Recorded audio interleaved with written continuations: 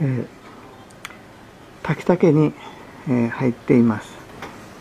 このようにありますけどここにですね水金窟っていうポタポタをなんか音がするのがあります。それでここの音聞こえるんですけどこの竹のぼっこですね。